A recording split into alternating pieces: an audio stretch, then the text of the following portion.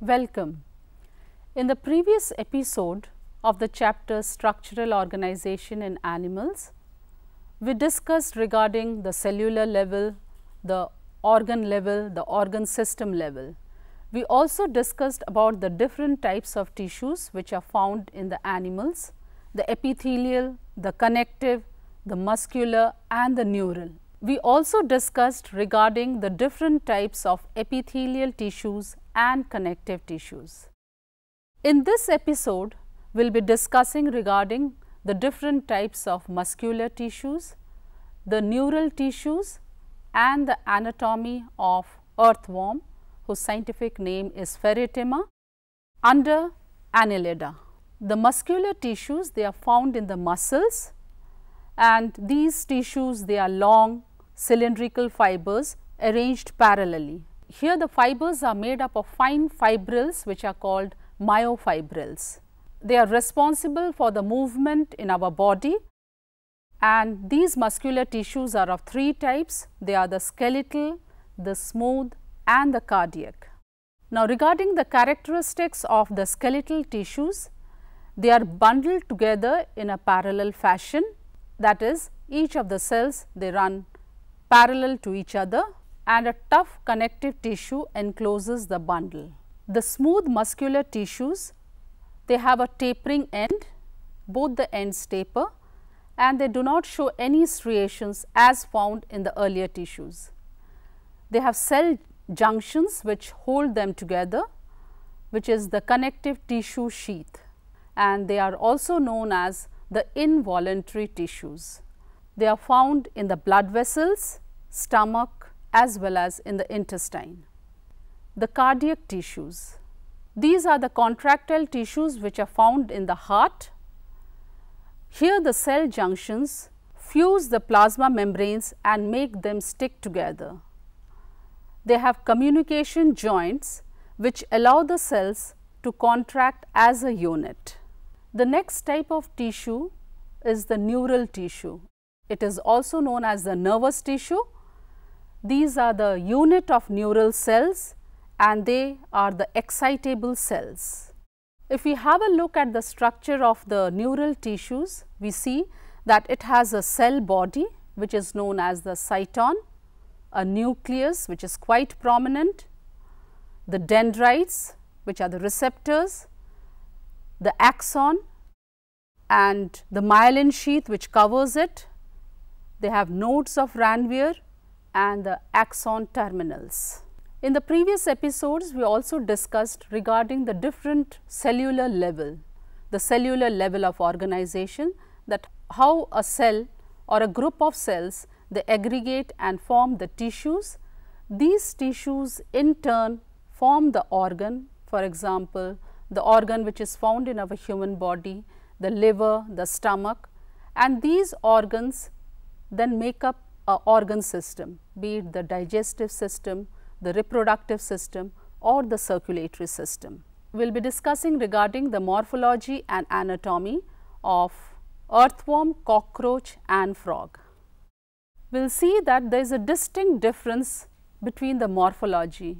We have dealt with morphology in the earlier chapters that is the study of the external structure of the organisms and anatomy the internal structure of the organisms. Regarding the morphology of earthworm that is how they look from outside. They have a long cylindrical body and the body is divided into more than 100 short segments which are similar that is they are known as the metameres. The dorsal surface of the body has median mid dorsal line which runs along the longitudinal axis of the body. On the ventral surface they have the genital opening. On the anterior end they have the mouth and the prostomium which is sensory in function. The first body segment in earthworm is known as the peristomium. From the 14th to the 16th segment, they have the presence of clitellum. Their body is distinctly divided into three regions. They are the pre-clitellar, the clitellar and the post-clitellar. Anatomy of earthworm or the study of the internal structures of earthworm. The body is covered externally by a non-cellular cuticle which is thin layered. Below that is the epidermis and two muscle layers which are circular and longitudinal and they have an innermost coelomic epithelium. The epidermis is made up of single layer of columnar epithelial cells which are secretory in function. The alimentary canal includes organs like mouth, pharynx, esophagus, gizzard, stomach, pre-typhlosolar part of intestine, intestinal cecum, lymph gland, the typhlosolar part of intestine, the intestinal lumen and the typhlosole. Regarding the circulatory system, they have a closed circulatory system which consists of the heart, the blood vessels and the capillaries. Blood glands are present in them and they produce the blood cells and hemoglobin which remain dissolved in the plasma. They have four pairs of pulsatile heart. The contraction of the heart keeps the blood circulating in one direction. If we have a look at the blood cells, we also find that these blood cells, they are phagocytic in nature respiration in earthworm, they do not have any special respiratory system. They carry on cutaneous respiration that is with the help of skin. Their nervous system is made up of the ganglia and the nerve ring. Regarding the sense organs, they have the receptor cells for light and touch and they also have chemoreceptors the excretory organs of earthworm. The excretory organs of earthworm includes the segmentally arranged coiled tubular organ called the nephridia. There are three types of nephridia. These are the septal, the integumentary and the pharyngeal. The septal nephridia they are present on both the sides of intersegmental septa.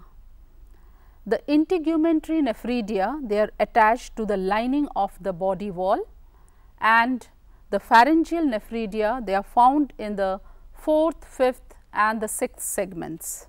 Reproductive system. Earthworm are hermaphrodite animals. The testes and ovaries, they are found in the same body.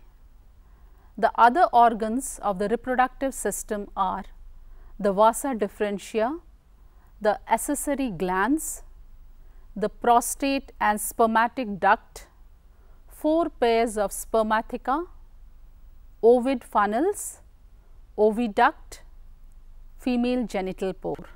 Earthworm are of economic importance. Vermicomposting is another important thing. Vermicomposting, this is increasing the fertility of the soil. We know that they are generally known as the friends of farmers because they make the soil porous as a result of which the roots, the developing roots, they found it very easy for their penetration as well as to carry out the process of respiration. Let us have a quick recap of the portion we studied in this episode. We studied about the muscle tissues, the types of muscle tissues, the skeletal, the smooth and cardiac tissues, the neural tissues which are the excitable cells, the parts of the neural tissues and under the organ and organ system, we studied about morphology of earthworm and under the anatomy of earthworm, we studied about the alimentary canal, the circulatory system, the respiration, the nervous system, the sense organs, the excretory organs, the reproductive system and how earthworm are useful to us.